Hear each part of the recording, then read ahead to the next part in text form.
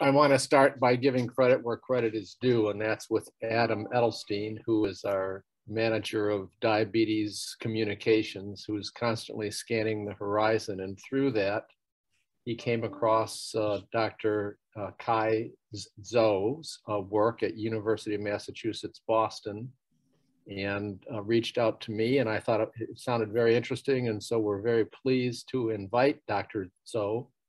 And uh, let me just say a few words of introduction. Dr. Zou was raised and, um, and educated in Beijing. He got his, both his bachelor's degree and his master's degree studying uh, sports medicine. And then he came to the United States in 2009, where he received his PhD at the University of Illinois in Urbana, Illinois. And from there, he did a postdoctoral training at Eastern Carolina University uh, before joining UMass Boston in 2016. Uh, the subject of his talk today is targeting mitochondrial dynamics to reverse skeletal muscle insulin resistance and obesity. It's always great to make connections with colleagues in the area and in particular a UMass colleagues. So Dr. Zou, let's see where this leads, but thank you for agreeing to speak to us all today. All right, thank you, Dr. Holland, for the nice introduction. What am I gonna do in this talk? I'm gonna briefly introduce some background about insulin resistance, uh, skeletal muscle that we're focusing on, and we'll share some finding from the human studies and as well as some uh, animal studies that we recently transitioned to. So, so first off, um, I want to share this um, sort of illustration of energy balance with everyone. And, and as we know, many of us know that our body weight uh, usually will be stable if the energy in is um, equivalent to uh, energy out, right? Usually through the physical activities or exercise. But in some cases, when energy in outweighs the energy output right, into your body, and for example, the things we, we sometimes do, especially during holiday breaks, that overnutrition, as you can see on my pointer, as well as some sedentary behavior and physical inactivity then we'll start seeing the gaining weight. And over long term, that's how it becomes obese. And so this is the most recent chart that I copied from the CDC website that showing the prevalence of obesity um, in the US. And as you can see on the top line, which is the trends of the prevalence of obesity that defined as BMI over 30, your body mass index, has been dramatically rising over the past 20 years. And now, uh, according to this data, there are over 40% of the US adults are um, in this category as obese. And more so, similarly, if you look at the blue, uh, the green line at the bottom, that which represents a severe obesity that is defined as BMI over 40, also steadily uh, increasing and about 10% of the US adults are severely obese. So this is a certainly alarming uh, rising rate over the past 20 years. And what's more alarming is, as we know that obesity would dramatically increases the risk of developing many other chronic diseases, uh, such as insulin resistance, type 2 diabetes, uh, some heart diseases, cancer, and fatty liver diseases right? So these are certainly adding more burden to our um, economics as well as on the patient side. So one of the uh, common condition associated with obesity, right, which is often considered a hallmark characteristic of obesity and a precursor of developing type 2 diabetes is insulin resistance. Now, for those of you who don't know what insulin resistance is, it is um, defined as a reduced response, basically of your peripheral tissues to insulin. So these peripheral, peripheral tissues, including skeletal muscle, fat, and the liver. So oftentimes, these tissues, fat, liver, be very responsive to take the blood glucose out of the bloodstream to lower your blood sugar level. But under insulin resistant conditions, um, they become less responsive. So what that leads to is your pancreas will have to work harder to pump more insulin into the bloodstream to lower your blood glucose level. And that's what this insulin resistance, resistance means. And over time, eventually your pancreas will fail to deliver insulin and that becomes type 2 diabetes. So as I mentioned, this, these peripheral tissue insulin resistance are very important. Um, in the development of whole body insulin resistance and diabetes. And one of the tissues that my lab focuses on is skeletal muscle uh, for a couple of reasons. And number one, and we know that skeletal muscle insulin resistance is a critical component of whole body insulin resistance. And number two, more so, more importantly, is during insulin stimulated conditions. For example, after a meal, uh, skeletal muscle is actually responsible for the majority of the glucose disposal. So of that reason, uh, we focus on what, what skeletal muscle play role, what does skeletal muscle play as a role in the development of insulin resistance and type 2 diabetes. And within skeletal muscle, and many of you have already seen this sort of photos or similar pictures from your high school biology class or college A and P classes, the, one of the most important critical organelles, which is mitochondria, um, which this small organelle is often considered as a powerhouse because it produces over 90% of your energy production um, to support your daily physical activity. And in the context of obesity, weight gain, weight change, and insulin resistance, now mitochondria is also the primary site for oxidizing all the nutrients that you take from foods, such as carbohydrate, fat, right? And lastly, you know, over the past probably 20, 30 years, and research have been uh, reported that mitochondrial dysfunction has been linked to the development of insulin resistance. Now, whether the dysfunction is a cause or a consequence of insulin resistance is still up to debate. So I'm not trying to get into this debate, but clearly there's a very close tie between mitochondria and insulin resistance. So one of probably the first studies that looking into the multiple aspects of mitochondria in the relation to obesity and insulin resistance is probably from this paper published in 2002 by um, David Kelley's group from University of Pittsburgh. And that's really by reading this paper, that's how I got into this field of research. So what they found is in the humans with obesity and insulin resistance, they first look at their mitochondrial content. Now, when I talk about the mitochondrial dysfunction, when something is dysfunctional, oftentimes it's either due to the lack of quantity or due to the impaired quality. So they look at both the quantity and quality of mitochondria. So they first found there's no difference. Actually, the mitochondrial content is normal in skeletal muscle biopsy samples from humans with obesity and insulin resistance.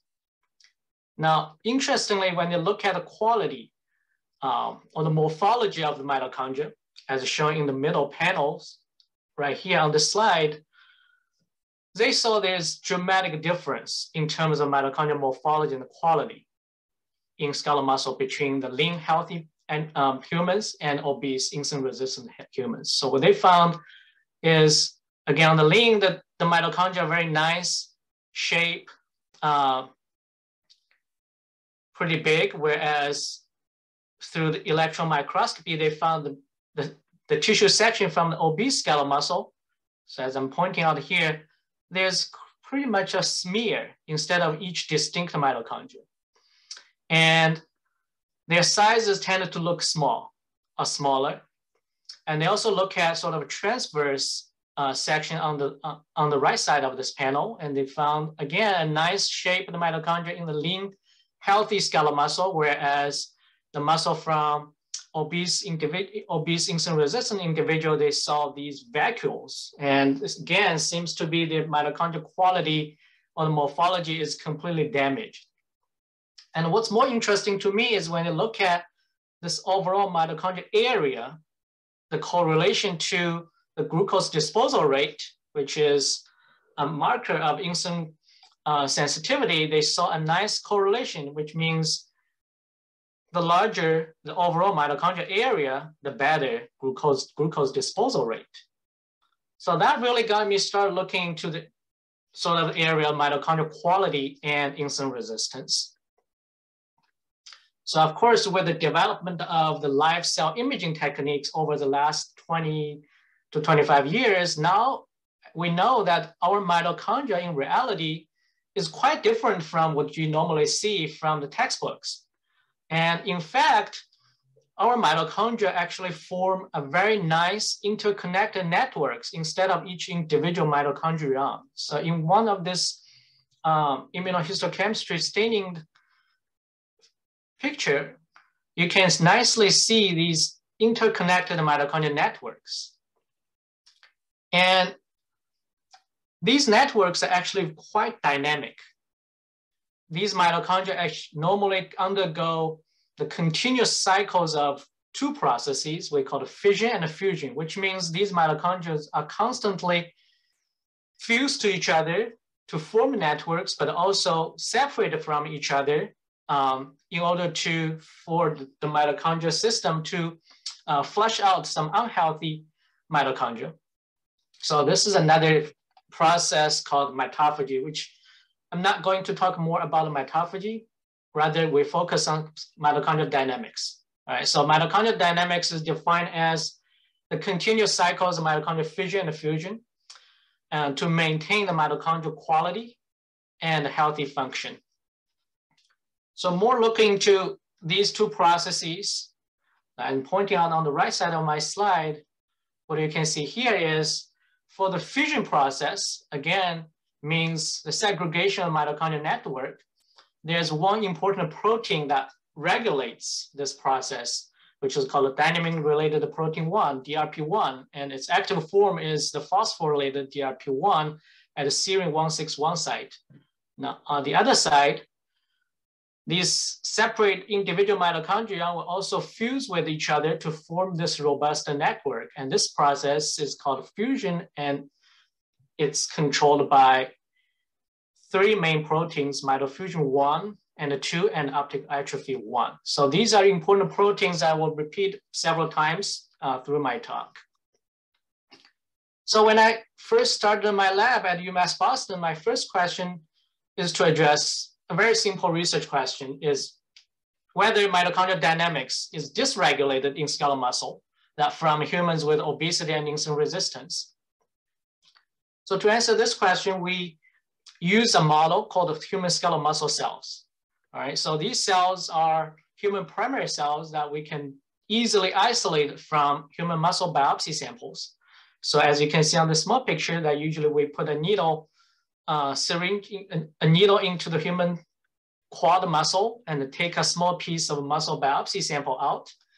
And we can culture these cells in petri dish and they can form these nice spindle shaped myotubes which is basically equivalent to the muscle fibers in our human skeletal muscle.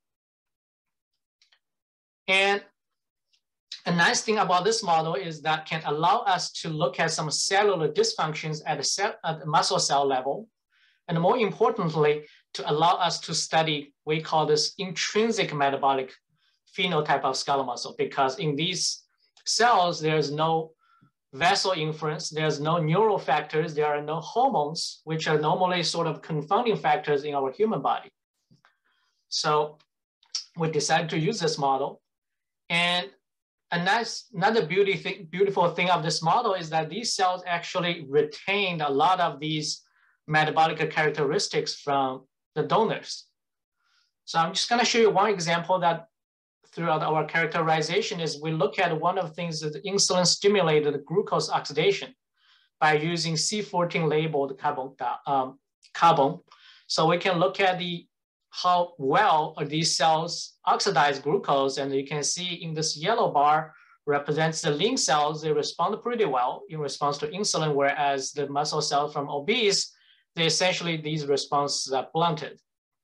So clearly showing these cells retain this insulin resistant phenotype. And just to add another thing to sort of to advocate for this model is when we compare our findings to the previous findings from the whole body level, we saw exactly same pattern and magnitude. Again, showing this, these human skeletal muscle cells that re does retain a lot of characteristics from the whole body level.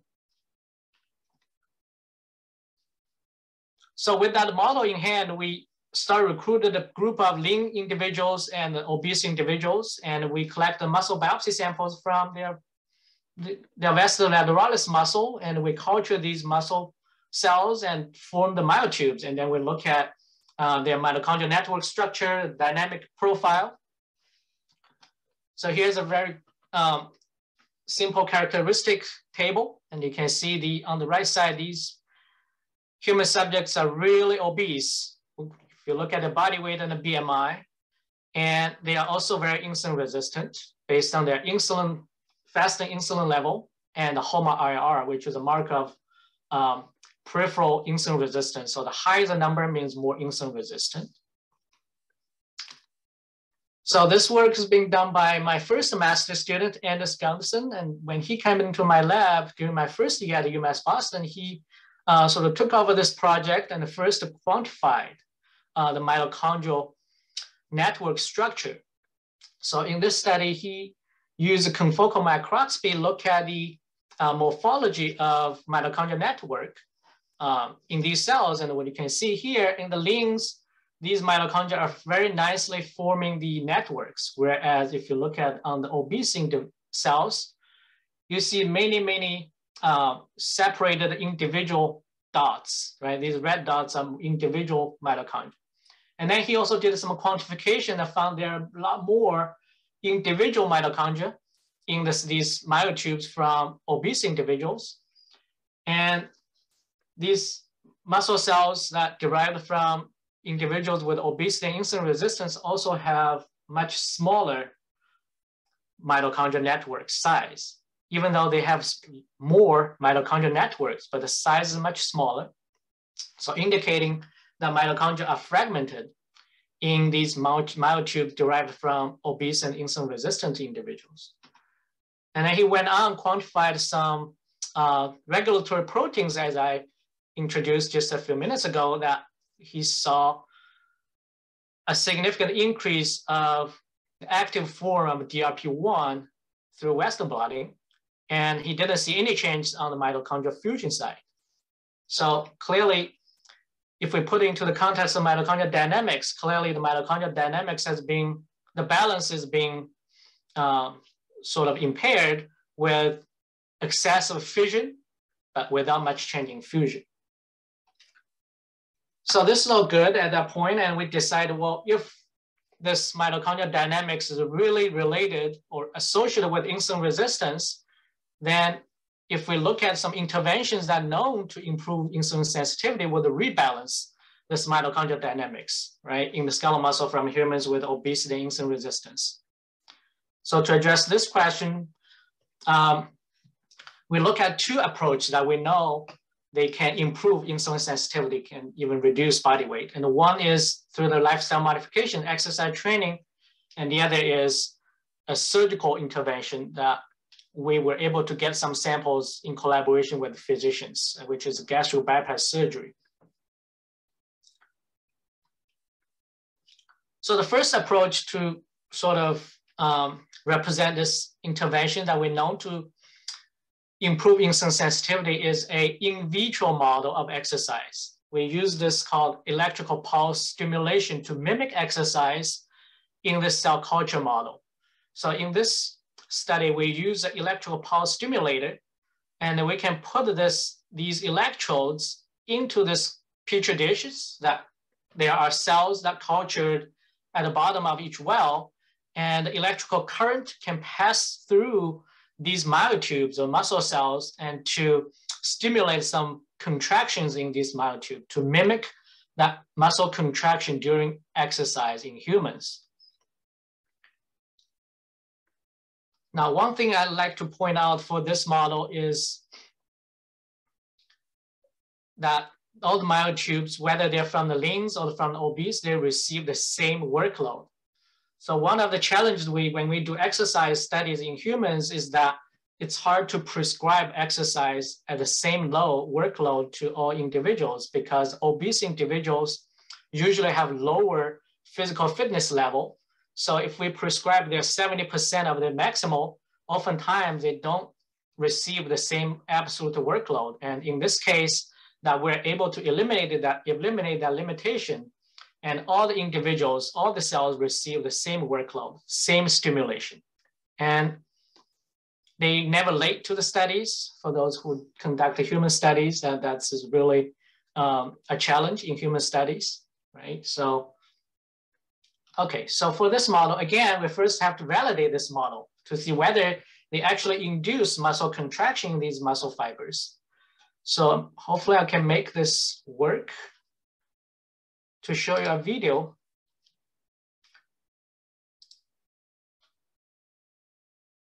So if we pay close attention to the myotubes that pointed with some red arrow, you can clearly see they are contracting. One second off, one second active, contracting. One tube's right here, So that gives really gives us some confidence that we know these myotubes are actually contracting just as they do uh, when humans uh, exercise.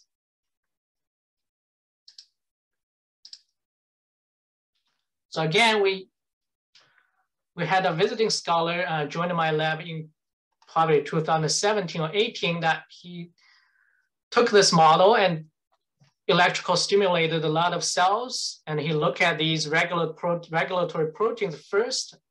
And as I point out here, the DRP1, just as we hypothesized that with the electrical pulse stimulation, there's a reduction in the phospho-DRP1, uh, which is an active form of DRP1.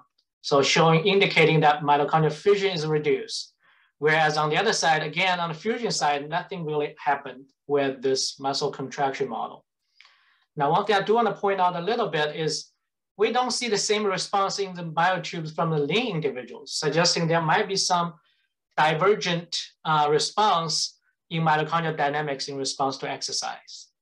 Dr. Zou, may I ask a quick question? Yes. What is the uh, temporal nature of these, these trends that you're showing us? How long is the stimulation occurring in vitro? And then how long can you sustain the muscle fibers in vitro? Yeah, it's a good question. So these are the parameters we use. Um, so this is a more mimic the exercise training model. We do the 24 hour continuous hours of stimulation uh, with a relatively low voltage, I would say. So it's more mimicking endurance type, um, moderate intensity physical activity. And we do the one hertz, which means it's one second on, that muscle contracting and one second off. And after 24 hours, um, then we do all these stainings and collect these uh, samples for these characterizations. And, and the other thing I've wondered about is this contraction that you're stimulating is without load. Is there any way to put load on the muscle fibers? Because the, obviously muscles are pulling on something when they contract, typically. Yeah, when we're doing this contraction as sort of mimicking that pulling, I think you, what you meant is more like resistance exercise that you're putting load on your muscle. Yes. It's more like a weightlifting things. And this is more, I think, mimicking the running type, more endurance type. Okay. Yeah. Yeah, so we have tried multiple protocols that we um, not so much on the load side because it really can't mimic every condition. But like I said, it, but this model does give us some tools that we can look at the molecular adaptations to exercise at the cellular level. Um, so we look at different voltages, uh, different duration, things like that. Uh, so this one I'm particularly presenting today is more endurance type, like running activity, for example. Okay, thanks. Yeah. Yep. So again, this, if you remember, the, the, the fission activity was actually high uh, in the obese cells, and now through this electrical pulse stimulation, we're able to reduce it. So clearly suggesting that mitochondrial dynamics might have been rebalanced following these contractions in myotubes in the humans with obesity and insulin resistance. So then one would ask, well, if the mitochondrial dynamics are rebalanced, what about their network and morphology?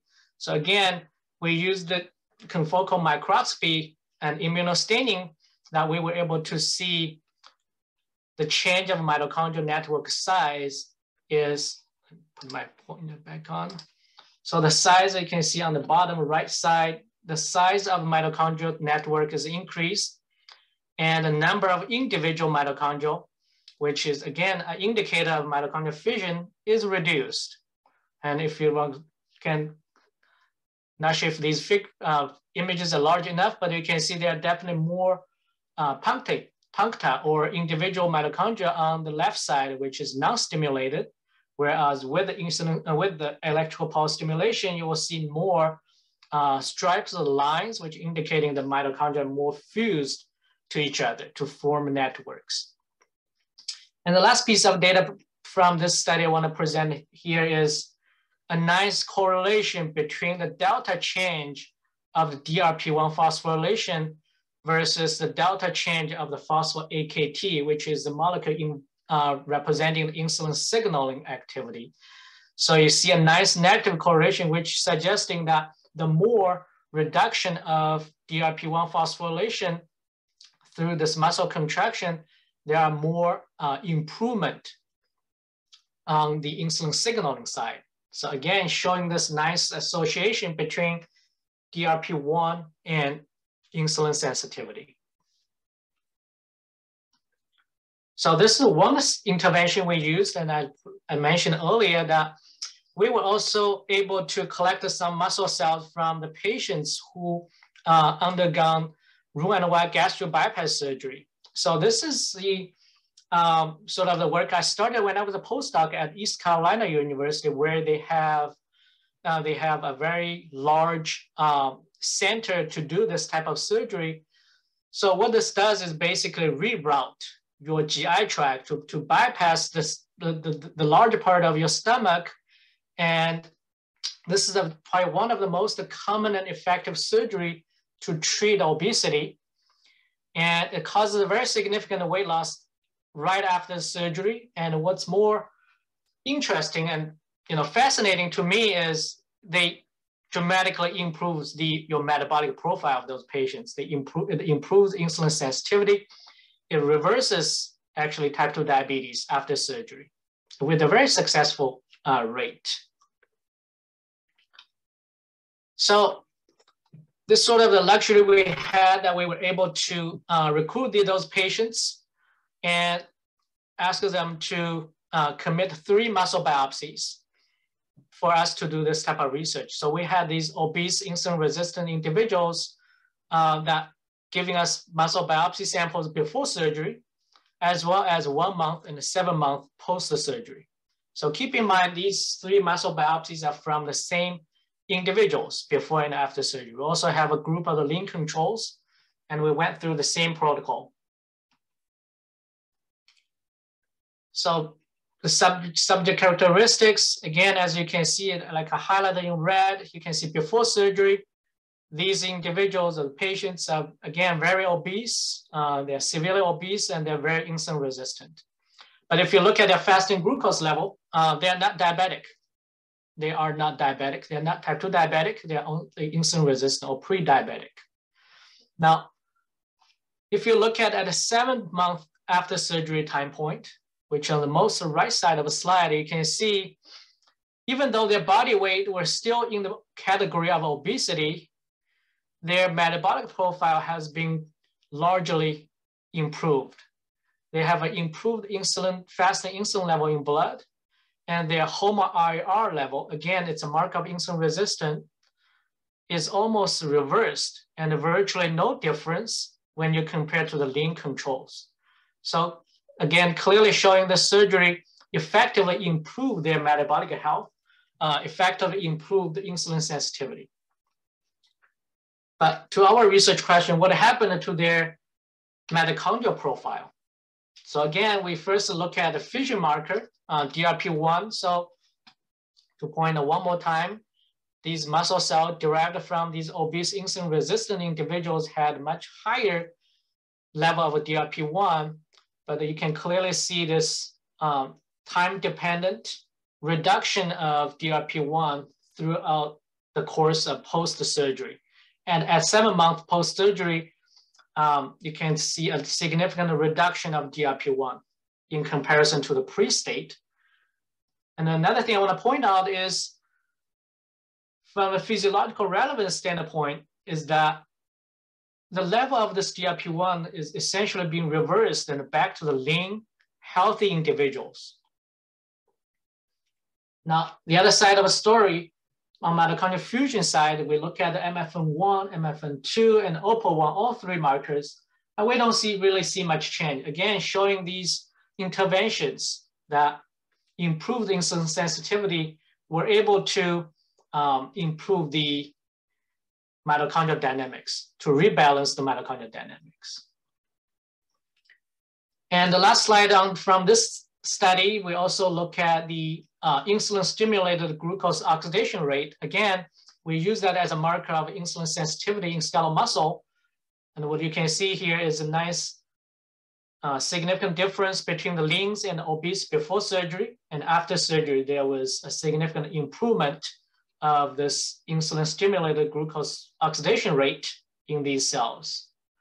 And we'll again look at the correlation between this phospho-DRP1 and the insulin sensitivity marker, we again see a very nice correlation, suggesting the more reduction in DRP1 active form, the better improvement on the skeletal muscle insulin action. So just to quickly summarize the first part of my talk, and we know, I hope I can convince you that DRP1 is hyperactivated in muscle from humans with obese insulin resistance. And this hyperactivation is really, really uh, strongly correlated to impaired insulin signaling and glucose metabolism in skeletal muscle. And we used a couple interventions that are known to improve insulin sensitivity. And both of them shown effective normalization of DRP1 activity and the rebalance of mitochondrial dynamics in this, these skeletal muscle cells. So with all these sort of encouraging findings, one thing we notice is and as many researchers know that causations or the correlations does, doesn't mean causation. And the question remains is whether or not DRP1 mediated mitochondrial fission directly contributes to insulin resistance in obese induced um, in skeletal muscle insulin resistance. So now I'm gonna switch the gear a little bit uh, into the pre preclinical animal models you know, to understand this more mechanistic question, whether this DRP1 mediated mitochondrial fission play a role in regulating skeletal muscle insulin sensitivity and whether it can improve metabolic health. Right? So this is the work actually uh, done by my first PhD student, um, and it's part of his dissertation. So in this study, he created a mouse model of DRP1 muscle-specific knockout mouse model. And for those of you uh, who do these mouse models, uh, we use a Cree and LOX system. So many of you probably use that model, uh, the system in your own laboratories. So we first have purchased a mouse line from the Jackson lab called Cree ER. So this is a conditional Cree that it carries a Cree recombinance uh, specifically on the uh, estrogen receptor and is specifically driven by a human skeletal muscle actin. So indicate it only works on skeletal muscle tissues. And it's a conditional Cree, which means um, it needs to be activated by the tamoxifen injection. And we also acquired a mouse line of DRP1 flox mice from our collaborators at Johns Hopkins University. So this is a mouse line um, where there are two lock sites in the DRP1 gene sequence um, between the exon 3 and 6. So in normal conditions, these mice are very normal. Their DRP1 expression is normal. Uh, this flox sequence is not skipped or stopped until that they meet the Cre gene, the Cre recombinants that can turn on these LOX sites. And at that point, this uh, segment will be skipped and then DRP1 can be knocked out. So by crossbreed these two mouse lines, and we were able to create this DRP1 muscle specific knockout. Um, we chose to use uh, heterozygous in the study because there are several studies um, have reported that homozygous, which is a very um, effective knockout to 90% of DRP1 causes severe muscle atrophy. So we decided to use the heterozygous to keep some levels of DRP1 in skeletal muscle. And all these mice are from C57 Black 6 background, and they are completely normal during development stage. And then we do the tamoxifen injection at week 10 of their, um, at, at the age of these mice to induce this DRP1 knockout in muscle specific pattern. So with that model in hand, uh, we did the diet intervention to give the mice either low fat diet or high fat diet with either 10% calorie from fat or 45% calorie from fat. So these are very common diets to induce insulin, insulin resistance in these animals. And with four weeks to establish this insulin resistance phenotype before we do the tamoxifen injection to induce DRPO knockout. And one thing I wanna point out here is on this left side, we have these control mice that they also received these tamoxifen injections just to offset any potential uh, side effects from tamoxifen injection only. So that we know at the end, anything we see different is from the DRP1 knockout. So we continue giving them the same diet for four weeks uh, whether low fat diet or high fat diet. So that results in four groups in this study. And at the end, we measured uh, food consumption, weights, um, metabolic profile, and mitochondrial profile. So just as we did the previously, we again first have to validate this model and we look at, uh, we measure the DRP1 protein expression just to validate whether uh, the DRP1 is being reduced or partially knockout in muscle tissue. So we look at two muscle tissues. Uh, one is gastrocnemius, the other is TBS anterior. So by average, we saw about 26% reduction of DRP1 in these muscle tissue. So that gives us a pretty good confidence because this is within the range of previously reported results from studies using this DRP1 knockout model, whereas between 25 to 30%. And what's more encouraging to us is, as I put this dashed line here, the reduction in these wild type mice fed with high fat diet. Now with the DRP1 reduction, we were able to pretty much reverse or reduce to this lean, um, sort of normal healthy wild type level uh, in both muscle tissues.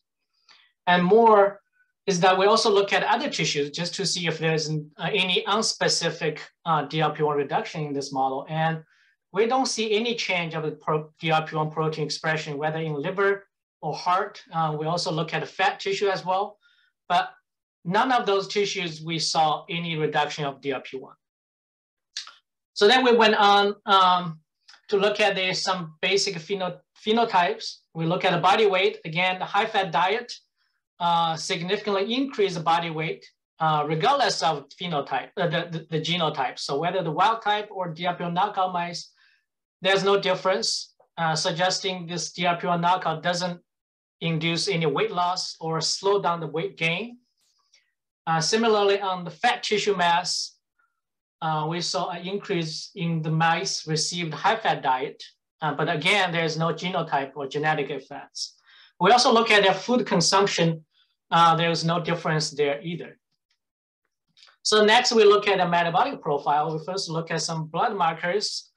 And again, with high-fat diet, as we expected, induces this insulin resistance phenotype. Uh, by looking at the fasting insulin level, there's a significant increase compared to the wild type low fat diet. Fat mice, the HOMA IR is largely increased. But what's interesting here is in these muscle specific GLP-1 knockout mice, these impairments seems to be alleviated. So even though they are still high compared to the wild type animals, but the, the magnitude is significantly reduced. And we also did some uh, metabolic challenge tests. One is the glucose tolerance test where we give these mice a bolus of glucose and we look at their response. Uh, and for those of you who have done this type of study, uh, similar to the oral glucose tolerance test in humans. And when you receive a bolus of glucose or sugary beverage, you expect to see a spike of the glucose concentration in blood, and over the time reduce and back to normal.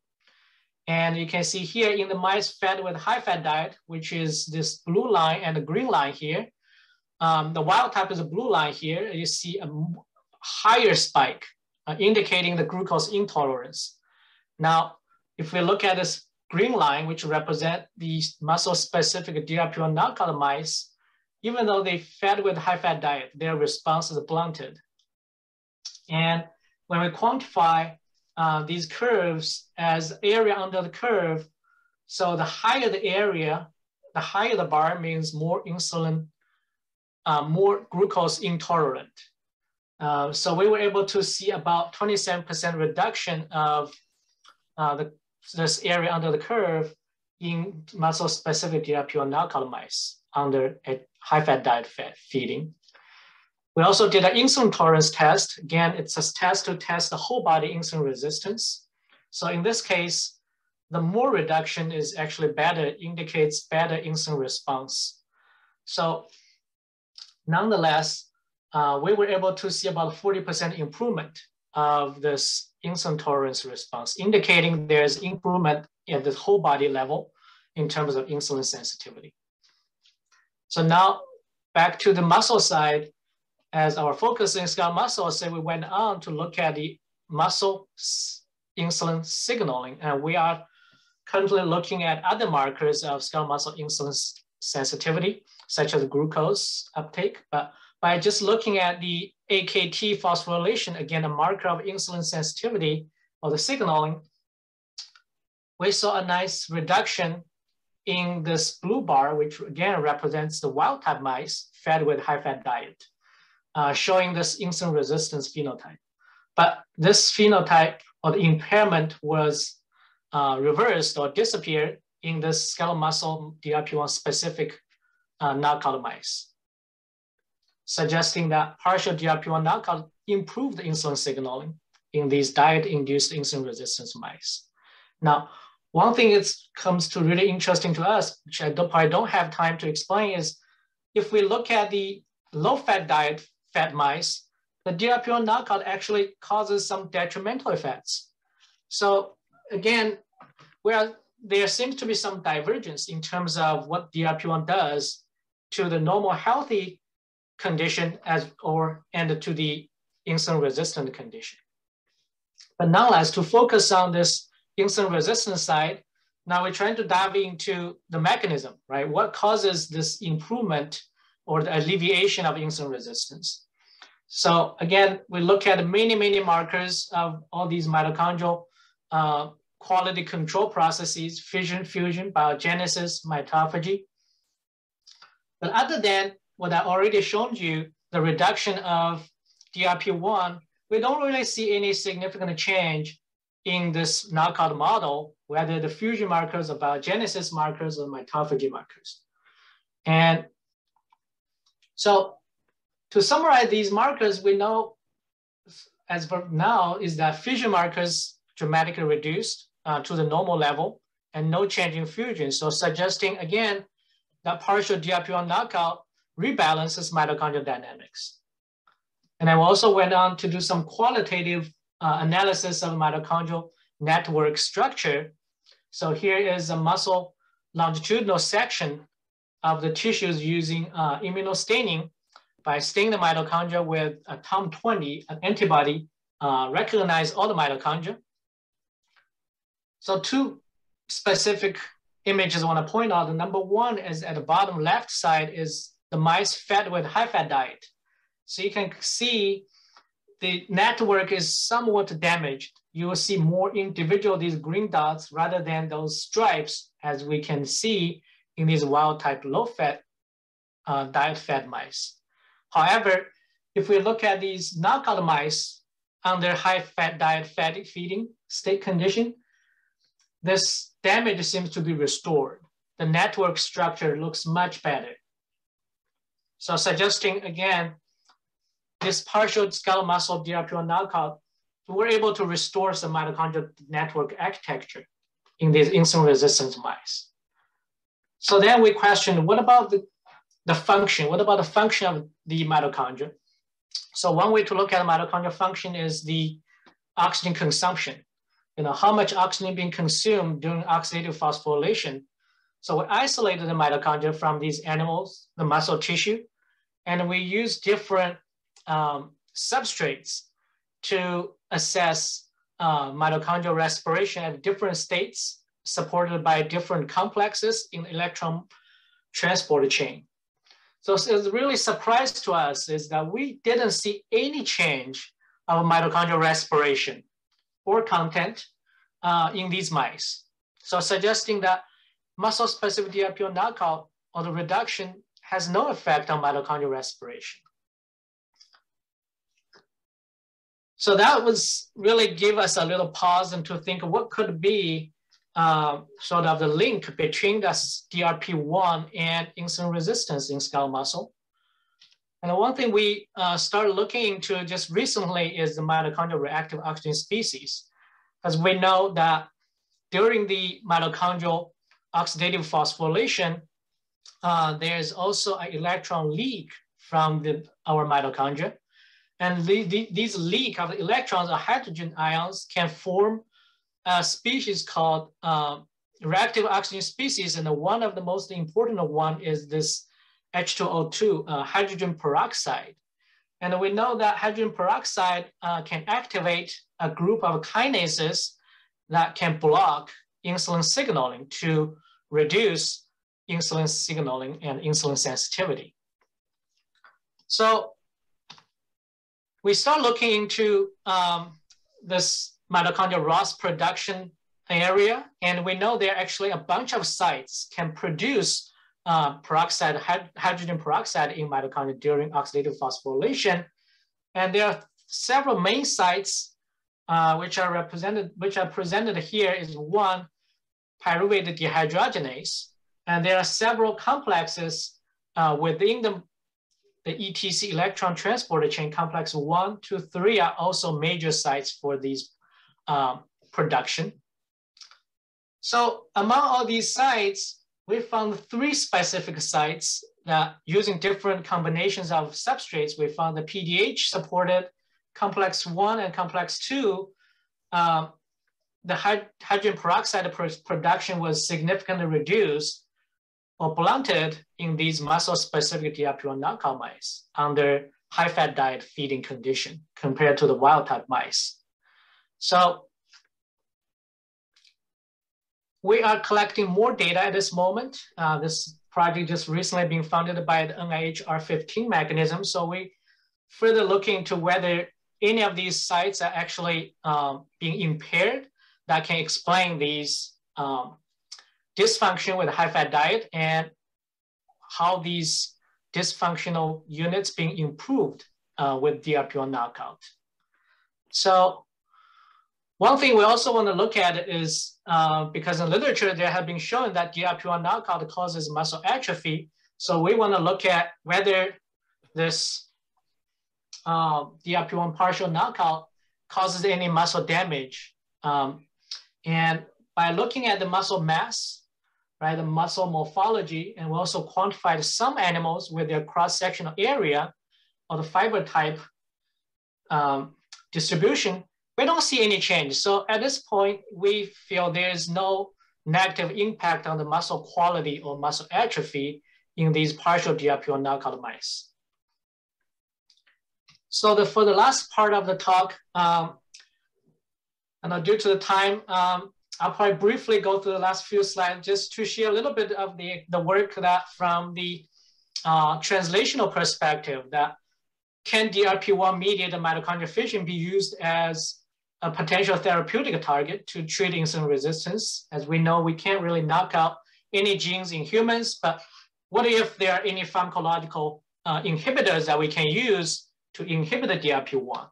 So there is actually a commercially available DRP1 specific inhibitor called mitochondrial division inhibitor 1, MDRVI1, that can specifically target the DRP1 and can suppress its activity by inhibiting its translocation to, DRP, uh, to, to mitochondria. And this drug has been proved that is specifically targeting DRP1 and has been used in many, many studies using different disease models, such as Parkinson's disease, Alzheimer's disease, and kidney disease. But none of those studies have a look at uh, at the skeletal muscle level or the muscle insulin resistance. So a quick overview of the study design. Again, we use the animal model, the C57 black 6 wild type mice, and we're giving them a diet intervention to induce obesity and insulin resistance. And after that, we're giving the uh, insulin resistant mice either a week of this inhibitor or a saline as a control. And we also have the low fat diet mice served as a control. And they also received a week of saline injection. So because of how this uh, pharmacological inhibitor works, we look at this DRP1 translocation by looking at how much DRP1 is expressed in the mitochondrial fraction, mean how much being translocated. And as we see with the high-fat diet, there's a significant increase of the DRP1 translocation to uh, mitochondrial fraction, indicating there's an increase of mitochondrial fission. But with this inhibitor, we saw a nice reduction suggesting this drug is, works as it's supposed to. And we also look at some co-localization of the mitochondria and the DRP1. So if you look at the far right side, these orange co-localization indicates my DRP1 translocated to the mitochondria. And we see a nice reduction just by visually with this co-localization. Again, indicating that DRP1 in, in, that's the MD, MDIVI1 inhibits DRP1 translocation.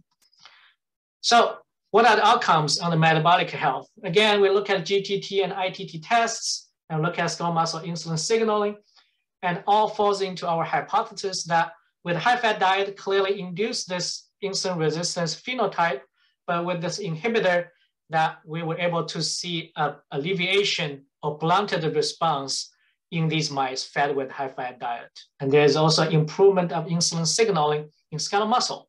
So, and they are, we are conducting more studies that to further validate the study and also to study long-term to see what about the long-term effects of inhibiting DRP1. Does that, are these findings still hold true? Uh, does the, these inhibitors um, causes any detrimental effects? So just to finally quickly summarize these, uh, our findings that first we know this inhibiting muscle DRP1 mediated mitochondrial fission does improve insulin sensitivity based on our knockout model, as well as this whole body glucose homeostasis, but only under insulin resistant condition, uh, not at a normal healthy condition, which is a very nice, interesting question to follow. And these improvements appear to be partly due to reduced mitochondrial derived uh, hydrogen peroxide production. And we think this DRP1 mediated mitochondrial fusion can be a future potential therapeutic target to treat insulin resistance. But of course, uh, more studies are needed to investigate long-term effects of DRP1 inhibition and to see what are the specific extent of DRP1 inhibition that to make it effective for the therapeutics in the future. so with that, I'd like to thank, uh, most importantly, my current and former members of the lab. They carried out all these studies, did all the heavy lifts. Um, especially Benjamin Kugler uh, conducted several studies uh, in my lab. I also thank the collaborators uh, on campus and outside the campus, especially Hiromi Sasaki that shared that DRP1 flux mice with us from Johns Hopkins University. And last but not least, the funding agencies that to allow us to continue doing this research in our lab. So with that, I'll finish and happy to take any questions.